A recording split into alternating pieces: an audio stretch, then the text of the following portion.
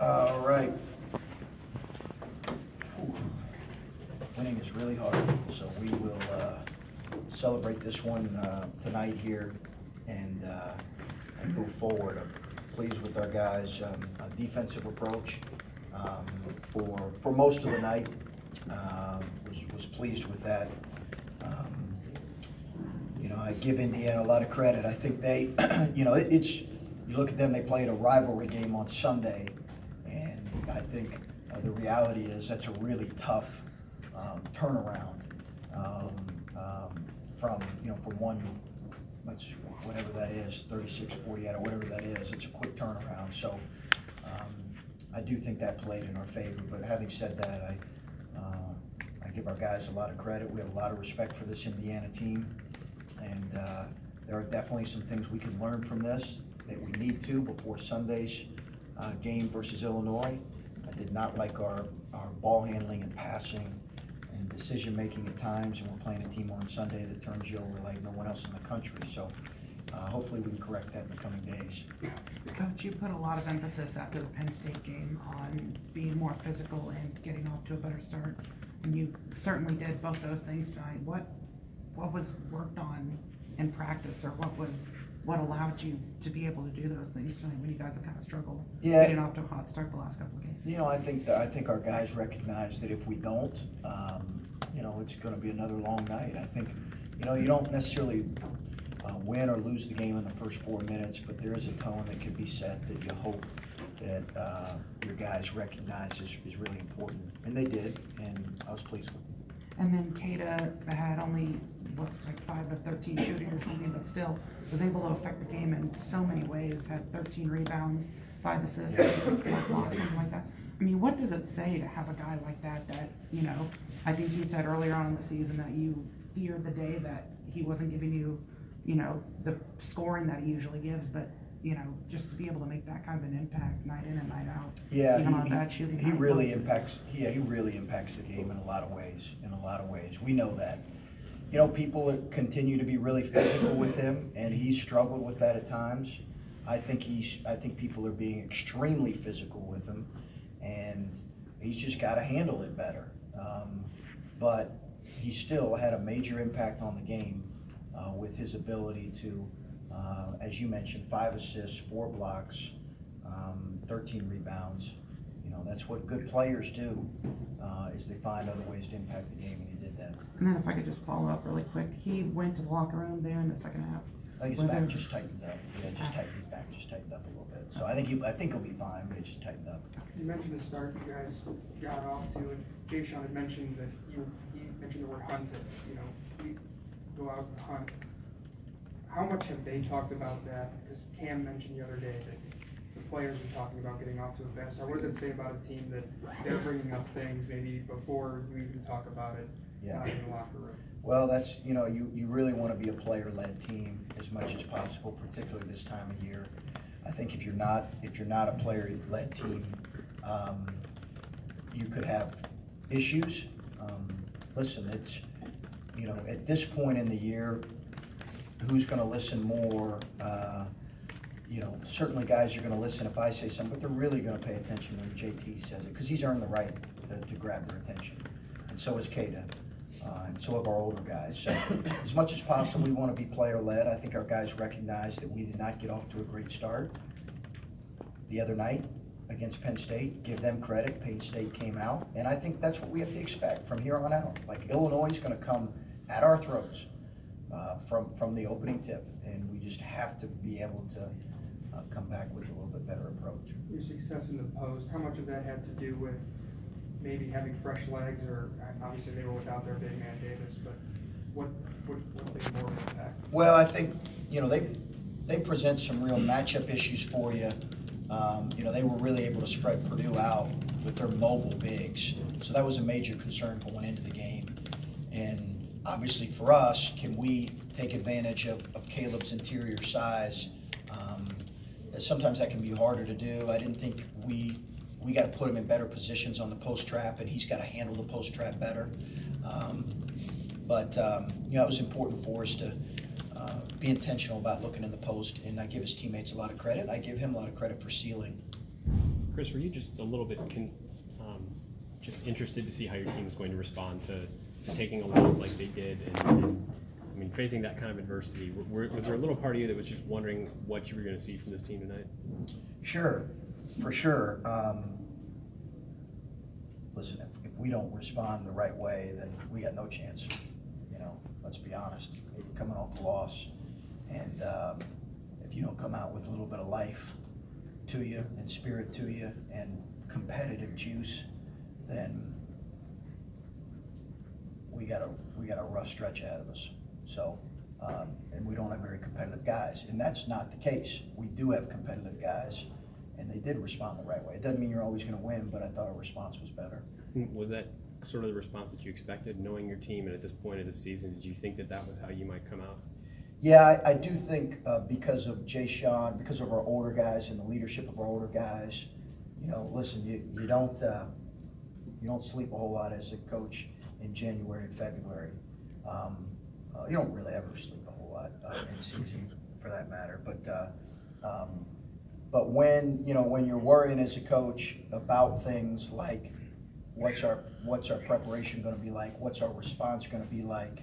Um, you keep coming back to, I keep coming back to, hey, listen, you know, JT's all about winning right now.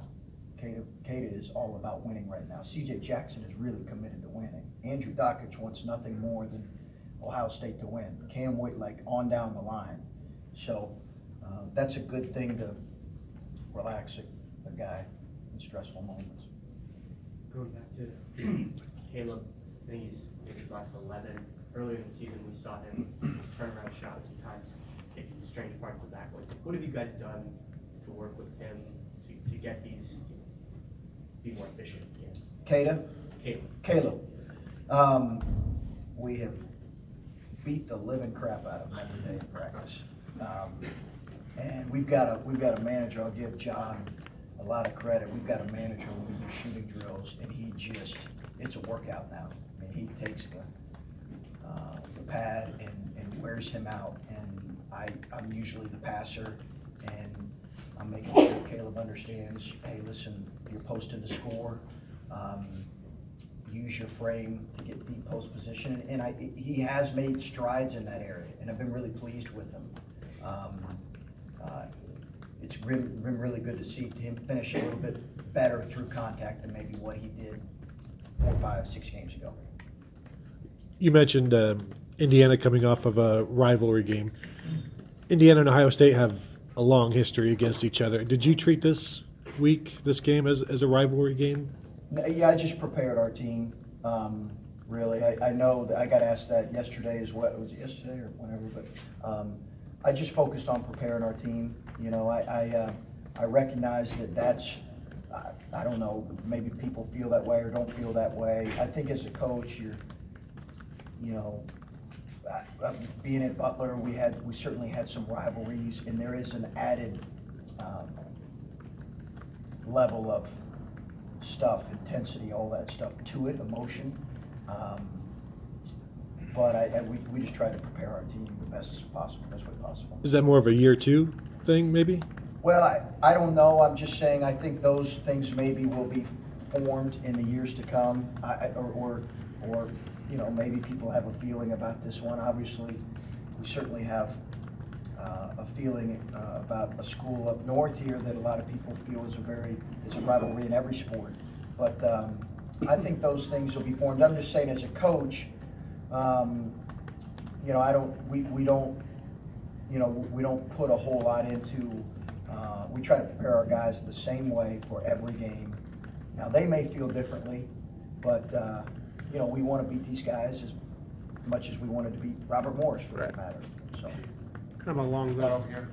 Coach, uh, you guys have been very locked in for the most part, like the playoff defense. Uh, Why is that? What have you guys been doing well on that end of the floor? Did you foresee this group being as efficient on that end as as they turned out? to be? I don't know that I thought we'd have quite the numbers defensively that we've had, to be quite honest with you. Um, Again, I, I, you know, I, I do think probably Indiana had some tired legs, and I, I, I recognize that. Uh, to, to, I think that's just reality. Um, having some tired legs given, given what they came off of. But I don't know that I rec, I felt like our numbers would be quite what they've been. Um, uh, but been really pleased with it. And you're right, in the last probably month and a half, two months, we've taken major steps forward in our defense. And usually that happens in a team as the year goes on, particularly with the new coaching staff. You, you hope that, that you can continue to get better defensively. I think Indiana, for example, is, is really sound defensively and, and I'm sure Archie probably feels like they've taken major strides in the last month. So it's been good to see for us. Chris, a little bit, uh, uh, following up on Tony's question about the rivalry. What do you expect Archie to do with that program soon? And do you want it to get back to the kind of rivalry that it, that it used to be and, and has been a lot of times? Um, do I want another team in our league to do really good? Is that what you're asking? Um, you know, I, I think, um, I, I don't, I don't, you know, obviously I was in the state for, for a while, so, uh, I know that that is a fantastic, uh, basketball, uh, institution. They are passionate about, uh, their, their, their team, and they're, I mean, extremely passionate, as passionate as any, uh, probably any fan base in the country. Um, uh, and I think they have an outstanding coach, uh, in Archie. Um, I thought Tom did a fantastic job. Um, uh, but I would expect that, uh, I think they can still, you know, make a run here this year, for sure. Um, and I would expect that they'll be uh, very good in the coming years. I- That, that's, that would be my anticipation. I think our league's gonna be very good in the coming years, you know, I, I really do. But having said that, I couldn't probably give you the most educated opinion because I don't know the, the program, other programs, you know, inside and out. But I, it, it's obviously a fantastic basketball institution. Coach, you, you kind of listed off everybody and said they were committed to winning, but it, given the struggles of last year and you being a new coach, at what point did you notice that that attitude had become maybe contagious in the locker room? The competitiveness, The commitment to winning. Oh, you know, I, I point back to probably, um, some of the, some of the rough patches we had earlier in the year, um, coming off of, of Butler and Clemson. I think our guys' response, uh, going into our first two Big Ten games.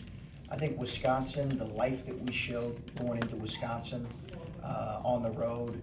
At, at that point, that kinda, you know, I remember saying to somebody on the bench, wow, are we locked in? You know, I think I might have said it to Scooney or one of the, one of the assistants. Um, I think at that point, you kind of have a sense that, hey, this group is about the right stuff. I don't know that I've ever felt like we were consumed uh, with uh, our own agendas. Um, and I would have addressed that I would have felt like that. Um, I mean, you have issues here and there, but I think by and large, you guys have been really committed to winning. Chris, uh, you mentioned that at points maybe the ball movement and the, the dribbling could have been a little better. Is, is any of that a byproduct of you had two guys really going down low and maybe things around them can get a little stagnant? And do you have to play any differently offensively, maybe when you're playing through Jae'Sean and Kaleb as opposed to playing through Keita? A little bit. I think, I think what you don't want to be, I think, as a coach, and, and I'm always trying to, you want to have some diversity to your offensive attack.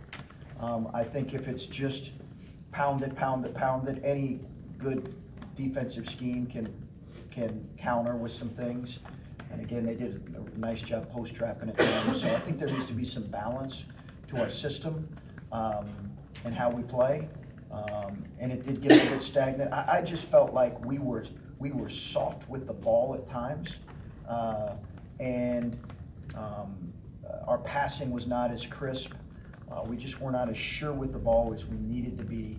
And I'm, I'm- I'm telling you right now, like, if we don't get better with that, Sunday will be a very long day for us.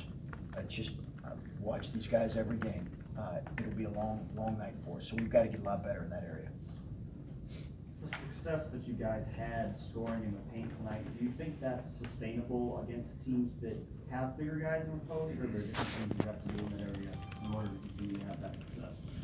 Uh, I, you know, I think it's sustainable. I think, um, obviously, if you're playing a team that has elite size, I think, um, you know, you've got to be more physical and more intentional about where you're getting guys' spots. I think we've done a better job uh, getting uh, Kaleb the ball in places where he can turn and finish and go score, and he's done a better job posting deeper. Um, So, uh, you know, I, I, I, if, because if we play a team that maybe has greater size, are we gonna go away from feeding the post? No, we'll still be really intentional about that. Does that answer your question? Last one, George. Chris, um, having come in late and kind of coming from Butler, have you, in getting kind of a slow start with a lot, with, with a lot of change in the team, have you even surprised yourself how well this team has done so far? You know, I've been, I've been asked that um, um, quite a bit um, here in the last, you know, couple weeks, and, you know, my honest answer is, is, is sure, I'm um, a little surprised. I think, uh, I- you know, I- I- whatever you want to, surprised, whatever, I don't think I anticipated, it's, it's unrealistic for anybody to anticipate a start in league play like this. Like, again, I may never go through the rest of my career and start out ten and one. Certainly hope to, but that's a rarity. But I, I choose not to focus a whole lot on that because we have so much left of the season. And we really want to focus on what's right in front of us, the task at hand, and can we finish this thing well? We have a very difficult closing schedule, very difficult. So, right now, we just are focusing on getting better, but the honest answer is sure. Thanks, Coach.